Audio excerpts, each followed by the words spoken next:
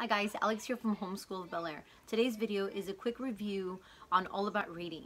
I also want to share with you guys a few tips and tricks on how I use it, how I store it, and organize it. If you guys are interested in finding out how I use it, stay tuned.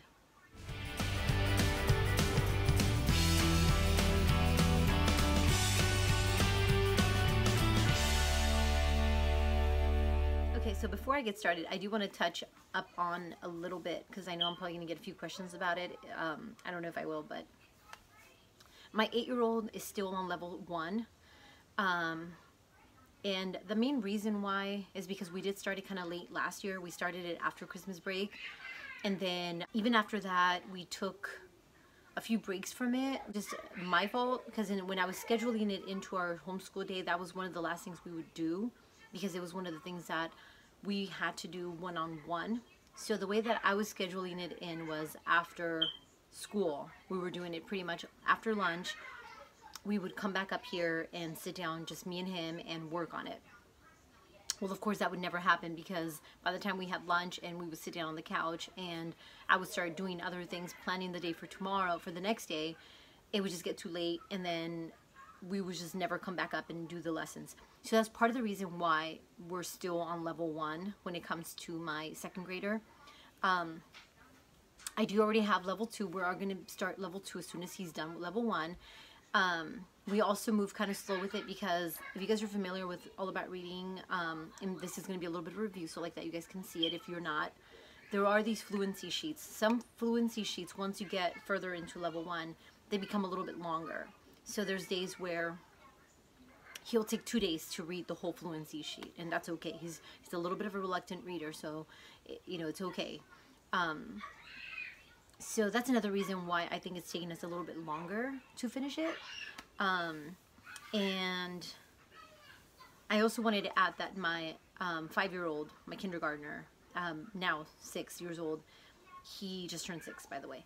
Um, he just started it, so it was something that I had purchased for him at the beginning of the year, but it wasn't something that I wanted him to start at the beginning of the year. This, this was something that I actually had scheduled into our, our planner to begin after Christmas break. So now it's after Christmas break and we started it fresh Monday. So, um, so far so good. We've only been on it for five days with him, so he's actually enjoying it quite a bit.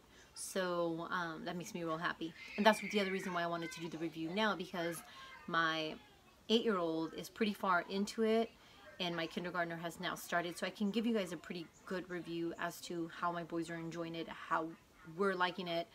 Um, I brought the boys work boxes um, to my desk so I can show you guys how I put it inside their work boxes and then all that it comes with and how I store it uh, okay so here in front of you guys we see this is the all about reading one and this is the all about reading two all About Reading 1 comes with three readers. You also get your student packet that comes with all your um, word cards and letter cards or phonogram cards, and then you get your letter tiles. Everything's already been used, obviously, for um, level 1. So this is pretty much what the letter tiles look like. And this is not the magnet board that I use for the letter tiles. The um, magnet board that I use is actually a lot larger than this. I just wanted to bring a few to show you guys. I'm going to try to insert a picture of the actual magnet board that we use. And it's one that I actually found at the Goodwill for like $2, but I know that it's a IKEA magnet board. Um, I know a lot of people that use this curriculum, they do use the big, the larger white magnet boards. Um, I just like the one that I have from IKEA because it's longer. It's a little, it's not as wide, but it's longer. So I'll go ahead and insert a picture of the one I have.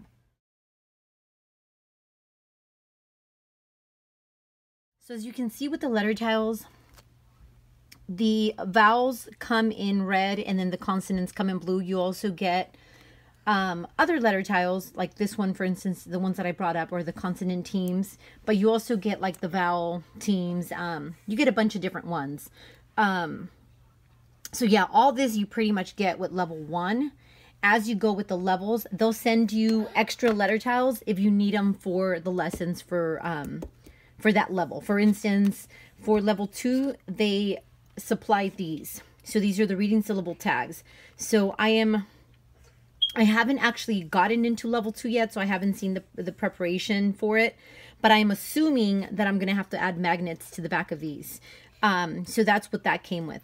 So like I said, I don't have the level one student packet because I already broke it all up, but I wanted to show you guys what it comes with. So normally it comes with the letter tiles, the student packet, and um, or the student packet comes with the letter tiles, and then it comes with these cards. Now these cards, you're supposed to um, tear them up and separate them. So you have the phonogram cards and then you have the word cards. This is pretty much what they will look like. So you have all your cards. Um, and I'll go more into this in a little bit. Okay, so the other thing, as you can see, level one comes with three readers. Level two only comes with two. With each set, you do get your teacher, your teacher guide. So here are the teacher guides for level one, level two, and then you get your activity pack. So your activity or activity book. Your activity book pretty much comes with every little activity um, printout that you're going to need for each lesson. The teacher guide is super detailed. Um, not only that, even these activity guides will tell you exactly what lesson you're going to need them for.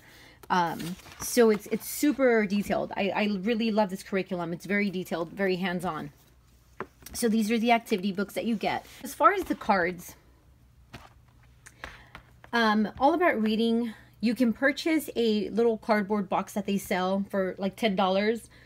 Um, I didn't want to buy a $10 cardboard box. I figured, and it's pretty hefty. It, I know it's uh, it looks pretty good quality from the pictures that I've seen, but these boxes are a dollar. You can pretty much buy them at Dollar Tree. I bought these at Home Depot, but they were a dollar also at Home Depot.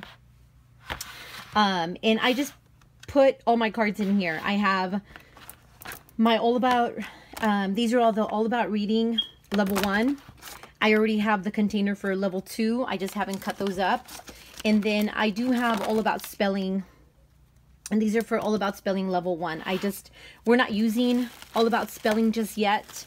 Um, I was going to start it with my son as soon as we start level two. I want to start level two and All About Spelling together. I heard somewhere that that's usually how it should be. Um, I don't know where I read that, but I read it that um, All About Spelling should be started um, along with two. I don't know. I could be wrong. Please correct me if I'm wrong. I just remember reading that somewhere in a blog. Um, so that was my plan from the get-go was to start All About Spelling once we start level two. Um, I also, in this box, I also store the rest of my letter tiles, and they're all separated in Ziploc bags. Um, so I have the, I guess these are the um, Bossy R ones, and then you have the vowel team ones, and then you have other consonant blend ones, and then there's just some extra ones. So all the letter tiles are separated in these little Ziploc bags. The other thing I do buy, um, I do have these little containers from the Dollar Tree, and that's pretty much how I separate them per level. Um, I'm to have to figure out a different way because I can't fit three of these in here. So once I get into all about spelling, I'm going to have to figure out something different. But for now, this is working out fine. Um, so yeah, so these are the letter, the, the, um, the cards, the word cards and the phonogram cards that come with all about spelling. This is how I store them. Um, I do want to get a little bit more into this because when you are using all about spelling, it comes with these little dividers. So you have your word cards and then you have your phonogram cards and then it comes with other tabs and the other tabs read um, like mastered cards and um, cards to review and I don't um, do that and I'll show you guys why in a minute um, I separate them in a different container the ones that we're working on it just makes it easier for me and whatever cards that because I do have two students on all about reading so this would just be filled up with a bunch of tabs. So I just have a separate um, container. I have one of these. And um, in here, there's two tabs per student. So I have uh, my five-year-old, or my now six-year-old, sorry. He has two areas. He has the one, the lesson that we're on, and the lesson that we need to review. And then um, my eldest son, he has his cards. He doesn't have any for review right now, but he does have the ones for the lesson. So this is how I keep them. Um, so like that, when we go sit down and work on this, um, I'll show you guys again where I keep all this. But um, I just have to carry this with me and not this. Um, so that's how I do it. So another thing I want to um, point out is as far as the teacher's guide, the teacher guides are super detailed. Um, for every lesson, they're going to give you pretty much something for you to read um, before you start the lesson. Um, little pointers, little tips. It'll also give you a little list of things that you're going to need for that um, said lesson. So you're going to have, um, is going to tell you what phonogram cards to pull out, what word cards, and what pages in your activity book. So it's super detailed. Um, it pretty much, it's not completely scripted, but it does tell you what to ask, what to say. Um, like I said, little um, special tips for you as a teacher. And um, yeah, so it's super, um, super detailed. Let me go ahead, I'm to go ahead and jump into how I store them inside their um, work boxes. Okay, so as far as work boxes, this here is my um, eight-year-old's work box and is just labeled reading. And then my six-year-old's work box it's labeled reading as well, but I also added a little tab that shows him the curriculum. So like that whenever it's time for him to put it away, he knows exactly where it goes. Because sometimes he does have trouble finding the right box, work box. So he, I sometimes can't find his curriculum because he'll stick it in the wrong box. So I ended up doing that. So it actually helps. Um, so the way that I, what I keep in their work box for this curriculum is the reader that they're on, their activity notebook, or their activity, I'm sorry, their activity workbook. And I created for them a activity notebook. Now the notebook, all it is, is their activity book pages glued in here. So I created almost like a little mini um, interactive kind of notebook for them just to keep the pages in case we need to go back for lessons or anything like that. Everything's here. This is also a, a tip for some of the homeschool moms that have to actually meet with like a school board or have to meet with um, I don't know. Um, I, I know in Texas we don't have to meet with anybody. We don't have to report to anyone when it comes to homeschooling. Um, I don't even necessarily have to save active or nope um, save worksheets or anything like that. Um, this was mainly for them because um, they do enjoy the activities quite a bit. Um, so this is just an easy, simple way to save the activities. If he ever wants to go back and redo uh, one of the games or whatever it is, he can. Everything is in here. So I'll go ahead and show you guys um, how I set those up. Just because, like I said, if you're if you live in a state where you have to meet with someone, this would be a great way to add this inside your your notebooks that you guys have to take with you. You guys can just create something like this, and this can be your reading notebook to show that you're actually doing reading. So anyways, let me go ahead and show you guys. So again, they have their reader in here. They have their little activity notebook. And all I really did was I photocopied this cover and taped it on top. Um, or I stapled it. So the type of notebook that I use is a, um, and I can't remember the brand. Yeah, I can't remember the brand. But it's, um, the cover is like a hard vinyl. And um, the inside has a little folder and it's just one pocket folder and it has one pocket on the front and one pocket on the back the one in the back that's where i keep their progress chart and their stickers the stickers are er, there's the stickers and in the front pocket is where i keep the lesson that we're going to be doing um, that day. So ahead of time i go ahead and tear off the pages from their activity book and i just place them in here for them. Um, there are days where this is what i'm going to explain what the envelope is for. Certain activities, like for instance, even this one, calls for cutting out um, smaller pieces. Um, there's times where if I have time the night before, I'll cut it out myself. Um, just because sometimes if I have the my child cut out the activity, it just takes way too long and it makes the lesson just that much longer. So there's times where I cut it out myself and then I just place him in here um, and then I just stick it in here like that. Everything's already cut out for him. So the next day he can just grab his folder and then all everything's already cut out for him. So it just goes by quicker. Um, so as you can see, I didn't have time to cut the word flippers for this lesson for today. I didn't have time to cut them out, um, but it's okay. Um, I, I usually sit down and help him anyway. So that's that. But um, real quick, so these are some that I haven't stapled in. But pretty much from lesson one, you have all the activities in here and they're all glued in. Um, so like I said, we could always go back and look at the lessons that we've done. He can reread some of the little activities that he's done. When it comes to the warm-up sheets and the, the practice sheets, which are like the little reader, um, fluency reader sheets that this curriculum comes with, those I staple. And I'll staple, here I only stapled one, but normally I staple a few. Um, see, like here I have two of them per page. So like that, I'm not wasting so many pages. Some of the activities where it's games, I'll glue, I'll glue them in a way where he can um, redo it. Like for instance, this one I just added a post-it on the back. So it creates a little pocket. And then if he wants to ever feed his little monster again, he can. Um, and everything is in here for him to um, allow him to just kind of redo the activity if he feels like he wants to redo it. So, um, so that's how, that's why I called it his little interactive notebook. So it's more, more like a little interactive notebook. Um, so most of the pages are glued down though. Um, it's just if it's an actual game itself, then I'll glue it more like, um, like for instance, this one was a matching game. So I just glued an envelope in here.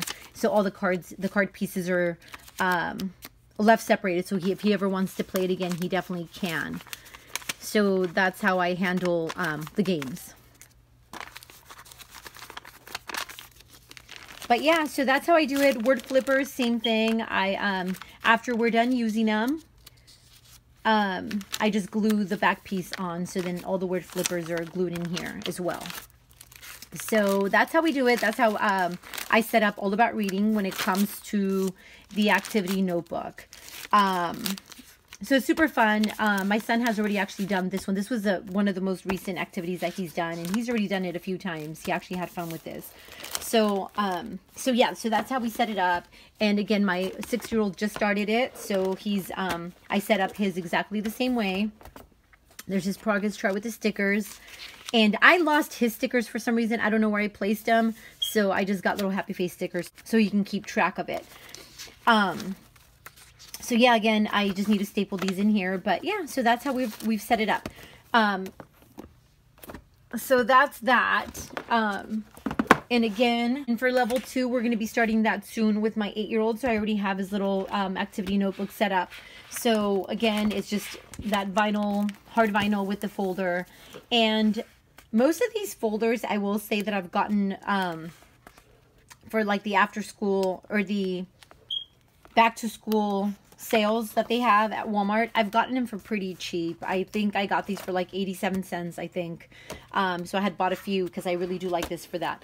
So yeah, so this is, it was pretty much just like a three ring binder um, notebook. Okay, so how we work from this. When because this is a curriculum that you do have to work if you do have multiple children it is something that you have to work with individually the way that we do it is we take turns. So normally my youngest will go first. Um, and the way that we do it is I set up for them a pencil box. And this pencil box is sitting under my sharpener.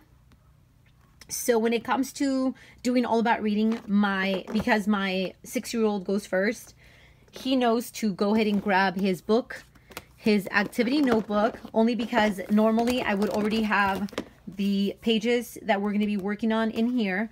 So I have him grab his activity notebook, his book, and then he knows to go um, by the sharpener to grab this. And what I keep inside this pencil box, and this is also because we don't work um, on this on our desk. This is something that we take to the my little um, craft table, the big black um, craft table. That's where we go to work on this like that. We can be away from my two other kids and we can be in more of a quieter corner. Um, and that's also where I have my big magnet board with the letter tiles. Um, so this is pretty much what he'll grab and he'll come and sit with me at the black table. And inside this pencil box, I have the little um, recipe notebook thing with the cards. So that's in here. I also keep a stapler because for some of the lessons, I do staple them into the activity book. And then for the word, word flippers, you do need a um, stapler to staple the word flippers together. I keep a pencil. I keep a little pair of scissors. I keep a little colorful pen. Um, I allow them to color their pages only if they want, but I have them, if they do want to color their pages, I have them go back to their desk and just kind of do it after. Um, this is just for fun in case they need to write anything if they want to use this instead of the pencil. Um, some, a little thing of uh, Post-its and two glue sticks. So this is what I keep inside the little pencil box. And like I said, this is what they carry with them to sit with me to do all about reading. Um, so everything's just kind of kept together and it just makes it a lot easier. And they now each have independent work to work on while they wait for the lesson to be over. But now, since we've been doing it this way, um, it doesn't take us as long to finish the lessons because everything's pretty much already there for us. Um, so yeah, so it runs a lot smoother and it's a lot easier for us to get the lesson done um, pretty quickly. Um, not only that, one of the other things that I started doing is, um, because there was times where I would sit with them for a few minutes and have them read their practice sheets. What I have them do now um, is if they have, like my eldest, his his word or practice sheets tend to be pretty long. So what I have him do now, um, or have them do now, is I have a little corner where I set up a little chair. It's one of those little bucket seats and they can sit there or they can sit in the preschool area where I have the big pencil pillow from um, Ikea. They can sit in either corner and sit down and quietly read this on their own. I feel like I was wasting a lot more time because before I was having, I would sit with them after our lesson and we would go through this and it would take so long. So now because I just kind of have them independently read it on their own, um, it just goes by faster because while my oldest is sitting down reading this quietly, I can, you know, be doing language arts with my six year old or including another lesson in there. So we're not wasting um, time, at least with the one on one with me. Um, so yeah, so that's working out actually great, and they actually enjoy their little alone time for reading. Um, so that's how we're handling this right now, and it's working out great. So that's how I have all that set up. So now I want to tap into the, the little readers real quick. The little readers are super cute little books. I wanted to show you guys just a few little, uh, a little bit into inside of the stories. The pictures are very, um, they're not colorful, but we love them. I love uh, the simplicity in the drawings. They're so cute. The readers are super easy to read. The stories are adorable. Um, and I find that my kids actually enjoy the stories quite a bit. As simple as they are, my boys enjoy them a lot. Um, so they're really cute. Um, this is the, the first book. So this one's actually pretty simple. The stories are very short and sweet. And um, yeah, we're actually enjoying this curriculum quite a bit. So that is that. And I think that's it, guys. I think that's all I had for you guys today. If you guys have any questions or anything, please feel free and let me know and I will talk to you guys later. Thanks for watching.